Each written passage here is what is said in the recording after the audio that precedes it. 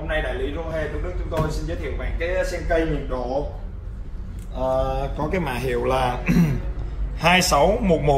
2611401 cái sản phẩm này thì được sản xuất ở Bồ Đào Nha made in Portugal. Quý khách uh, xem qua bên ngoài hộp thì cái sản phẩm này thì được in ờ, màu có cái hộp màu xanh và in logo của Rohe ha thì cái này Rohe thì thương hiệu đến từ Đức nhưng mà cái dòng này được sản xuất ở nhà máy ở Bồ Đào Nha. Tôi sẽ tiến hành để mở cái sản phẩm này ra. Thì cái sản phẩm này ờ, chúng tôi cũng có một cái video clip khác thì ờ, có quay ở, ở showroom trưng bày.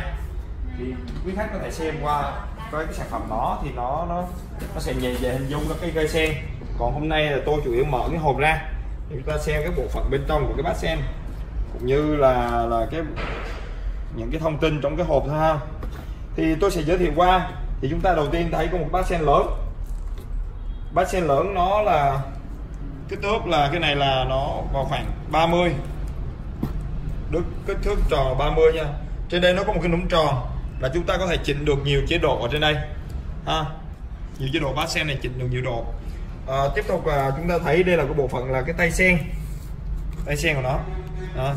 còn cái nút này cái nhựa này là chúng ta dùng để mở được cái nút nhựa ở phía dưới để xả chậu á.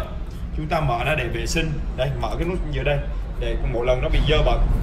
À, tiếp theo là cái cụm tiếp theo là cái cụm ờ, van điều chỉnh nhiệt độ và điều chỉnh uh, chuyển hướng cho cái uh, cái cái cái cây sen này.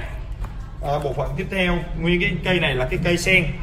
Cái bộ phận cây này là nguyên một cái cây nổi từ cái van này lên cái cây sen này ngoài ra thì nó còn có một cái số phụ kiện như đây cái này là cái che chân sen nè. Đó, che chân sen. Đó. thì đây là nó đầy đủ một cái bộ này.